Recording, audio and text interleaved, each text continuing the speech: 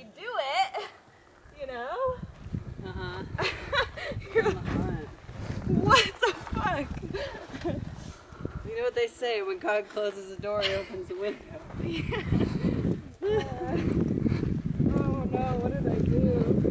You close the door, another tractor will open the window. Yeah. I guess so. That you know, that never happened in 09 when I broke up with or when five dollar broke up with me. Back when you were trapped on it. Back before you were trapped. Yes. Five dollar? That's a good name. Um, nothing ever happened after him. Oh. But that's because I was way behind everybody. Where were you? I finished like October 9th.